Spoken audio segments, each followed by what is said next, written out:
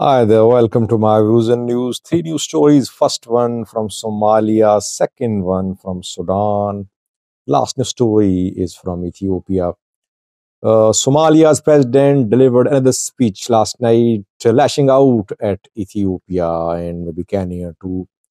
Uh, though he was addressing uh, a ceremony uh, about a soccer event, but even there he did not forget uh, to criticize Ethiopia. What did he say? Secondly, Sudan arrests of a top uh, military officials. Uh, a coup attempt reportedly was in the making, foiled by security forces. Thirdly, Yamabe is responding to questions at Parliament. Uh, uh, session ongoing. I have received a few details about what he is saying at the Parliament. He talked about proliferation of media, money, and geopolitical dynamics as the reasons behind uh, security and peace related issues in Ethiopia.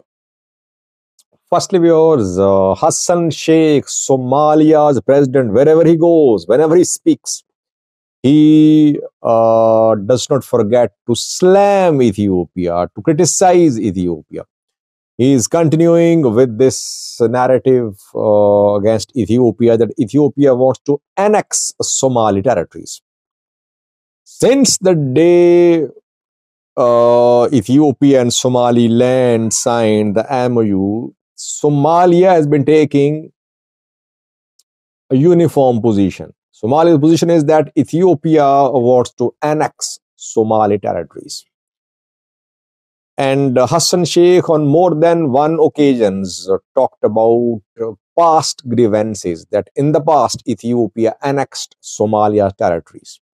Again, last night when he spoke, he reiterated this position of Somalia's government. Hassan Sheikh was addressing a prize distribution ceremony uh, of a soccer event uh, Two days ago in Mogadishu, regional soccer tournament matches were played, and I think last night prize distribution ceremony was held there. Hassan Sheikh was there, and there he spoke. So it was a sports related gathering, but even there he uh, raised a political issue, uh, a foreign policy related issue. What did he say? He said, uh, if you don't want us, we don't want you as well. Obviously, he was talking about Ethiopia. Then he mentioned past grievances that you annexed our territories in the past.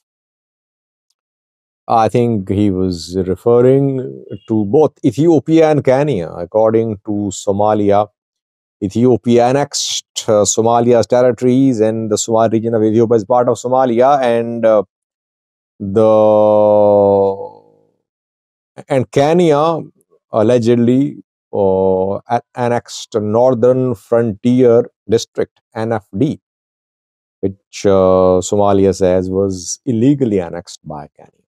So Hassan Sheikh, though the target of his talk was mainly Ethiopia, but obviously uh, he was implying that uh, other countries annexed Somali territories in the past, and remaining territories uh, are now their target. They want to annex Somalia's remaining territories. This is a very dangerous narrative, by the way. Uh, yes, Hassan Sheikh is getting public support. People are rallying. Uh, people are supporting Hassan Sheikh's this narrative. But uh, for people to people contact, it's a very dangerous narrative. That is why maybe we are seeing that uh, Ethiopians in Somalia are becoming vulnerable to attacks. They're unsafe. And uh, last night, Sarah reported about an attack on a family in uh, Jubaland, Beled Hawo, an Ethiopian family. Six or seven were killed, Oromo Ethiopians. So these uh, leaders should be careful. Yes, uh, their words matter, by the way. What they say matters. Somalia might be correct in citing historical grievances, but uh, the leaders should ensure that what they say does not lead to ethnic violence. While they have every right to take positions uh, to put pressure upon the other side, they should also be careful that uh, their talk, their uh, words don't lead to ethnic violence. Secondly, viewers, uh, it seems that a coup was in the making in Sudan. Some top security officials have been arrested. Details have not been made public in Omdurman, these arrests have been made of some top Sudanese military officials. According to some sources, uh, Sudanese intelligence agency received information about a likely coup attempt. That is why it took action. Sudanese military led by Burhan, General Burhan, is under immense pressure. Military is losing ground to rapid support forces. RSF gradually sweeping across Sudan. Military losing ground. It, it, it has launched a counteroffensive, by the way. For the last few days, we have been seeing renewed fighting in umm Omdurman, in parts of Khartoum, in Al Jazeera state. Military wants to retake its lost territories. But military under immense pressure because military is working in alliance with tribal leaders, with some regional leaders. Military so far has been unable uh, to push back uh, rapid support forces. That is why maybe there was a coup, uh, coup attempt.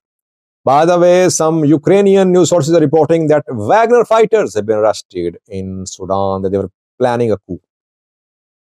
I don't know about the arrests of Wagner fighters, uh, but arrests of some Sudanese uh, top security officials uh, has been confirmed. Uh, maybe uh, military, top military uh, officers wanted to remove Al Burhan. Details not made public so far. Lastly, viewers, Ethiopian Prime Minister is responding to questions from MPs at the parliament. those who are known for asking tough questions are behind the bars the man today attributed economic problems uh, and other challenges faced by Ethiopia to uh, others, not to government. He shared details of government's performance, that government has done a lot in the Amhara region. Government is working on uh, more than 53 infrastructure projects, uh, one, 103 one, one, 1,000, uh, 1,300 uh, kilometer roads uh, have been constructed in Amhara region. And uh, several projects have been completed, Abay River, innovation work on Lalibela Churches, Gorgora project, etc. Uh, but government has not been able to respond to macroeconomic challenges because uh, uh, there are uh, conflicts, internal conflicts and external pressure. That is why government could not make uh, big decisions to uh, meet macroeconomic challenges. So Abiy's government is acknowledging that internal conflicts are leading to economic problems. That is what everyone knows, by the way. It's not uh, difficult to understand that as long as there are conflicts, internal conflicts in Ethiopia, there cannot be long term uh, lasting prosperity. External pressure. This point is interesting. Which external pressure is being faced by Ethiopia? I think maybe he was saying that Ethiopia was not getting uh, financial support. Pressure is there. Uh, IMF, World Bank in talks with Ethiopia for months, uh, but no bailout package. They want Ethiopia to lift state of emergency. They want Ethiopia to improve human rights record. Ethiopia removed from AGOA as well. So external pressure is there, but even this external pressure is linked to what is happening in Ethiopia. It's linked to internal conflicts. Secondly, the man claimed that uh, proliferation of media, money, and geopolitical dynamics are leading to peace and security issues in Ethiopia. Uh, here I am unable to understand. I mean, which media uh, outlets are so powerful in Ethiopia that they are creating uh, security and uh, law and order issues. Yes, they are reporting about it and they are biased. Uh, they spread rumors too, they spread wrong information too. But to say that they are the ones which are responsible for crises and conflicts in the region, in the country, it's an exaggeration. Government's decisions led to start of conflicts. Government decided to disband Fano fighters, Fano groups. It decided to disband Amhara special forces. That is how conflict in the Amhara region started. There was no media back then uh, fanning the conflict, fueling the conflict in the Amhara region. All media outlets uh, then started reporting. Amharic news outlets, they started reporting, and criticizing the government. And now government says that it's media. No, it's not media. Government's decisions led to start of conflicts in Ethiopia. Government now should admit that its wrong decisions led to start of its wrong decisions were the reasons behind start of conflicts in Ethiopia. And he said that uh, his target is that uh, debt to GDP ratio should be 10%, uh, but now it's at 17%. So he acknowledged economic challenges, but uh, he claimed that government is on the right track my understanding, my analysis is that government is not on the right track. I've been saying that that uh, there cannot be any big economic turnover in Ethiopia, no big uh, economic change uh, expected because government's direction is not right. Uh, government's, and by the way, he mentioned three points. He said the government's three objectives are law enforcement, negotiations with adversities, and job creation. Here, if you analyze government's performance according to these three criteria mentioned by the Prime Minister, has government created any uh, job opportunities for youths except in the security sector? Government failed. No job creation. Talks with adversities. Here too, government policy is uh, uh, not uniform. Government is talking to OLA, but not ready to talk to Fano groups. Law enforcement. Yes, law enforcement is the priority of the government, but uh, we're seeing that uh, through this law enforcement, uh, government is uh, spending too much on military and law enforcement institutions. The government does not have money to spend on youths, to spend on its human resources, to uh, improve the capabilities of its people. Uh, government does not have money for that because it is focused on security. That is what I've been saying for uh, months, by the way.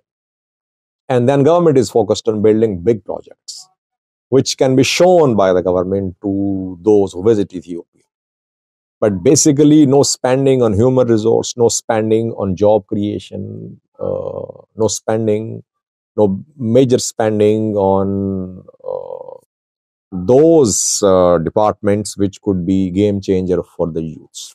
Only security sector is open for them. Fano fight is ready to give them uh, monthly pays OLA fighters as well government forces. That is what so far is happening I'll update you in coming videos about PM Abiy's uh, talk. Uh, while I'm recording this video, he's still responding to questions. Thank you for watching.